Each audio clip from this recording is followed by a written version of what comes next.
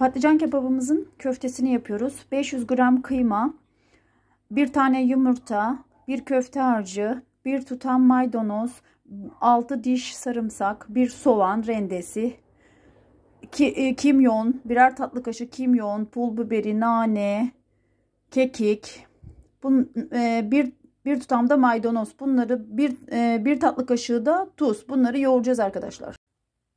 Evet, 6 tane patlıcanımız, 2 tane domatesimiz, 4 tane biberimiz, 3 tane patatesimiz. Bunları doğrayacağız.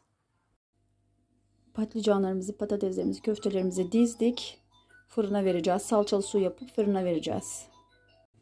Şimdi 2 kaşık karışık salça, biberlen domates salçası.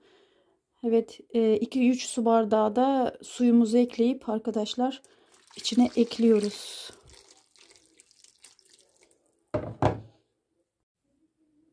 Evet arkadaşlar olmuştur yemeğimiz. Patlıcan kebabımız olmuştur. Afiyet olsun. Bu videoyu görüp yorum atmayı, beğeni atmayı, bana abone olmayı, takip etmeyi unutmayın arkadaşlar.